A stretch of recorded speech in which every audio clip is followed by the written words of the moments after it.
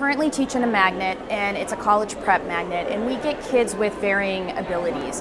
And i'm pushing them i'm pushing them to essay writing. I'm pushing them to uh, in math. I'm even though i teach social studies the bigger picture why it's important why is school important what's going to happen after school do you have a plan? So it's it's constantly pushing. This program is part of pbs socal's local american graduate initiative. Let's make it happen.